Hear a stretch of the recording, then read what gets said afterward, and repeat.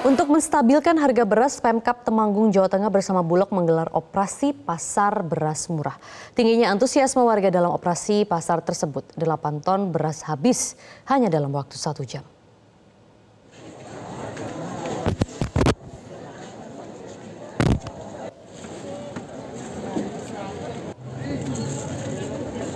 Antrian ratusan warga Temanggung ini sudah terjadi dua jam sebelum operasi pasar beras dimulai.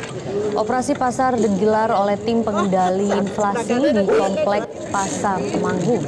Operasi pasar beras murah dibuka pukul 8 pagi dan dalam satu jam 8 ton stok beras habis. Dalam operasi pasar tersebut, beras bulog kemasan 5 kg dijual dengan harga Rp54.500 atau dengan harga Rp10.900 per kilogram.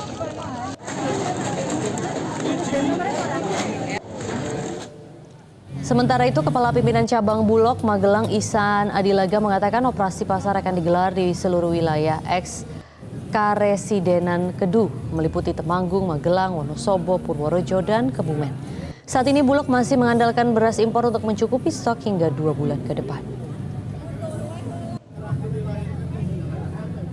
Ratusan warga yang antri beras juga terjadi di kawasan Kecamatan Bandung Wetan, Kota Bandung, Jawa Barat pada Senin pagi.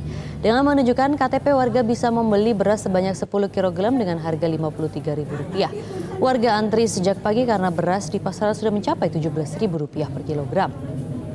Warga berharap agar pemerintah kota Bandung terus menggelar operasi pasar beras murah dan berharap harga beras bisa turun kembali di pasaran.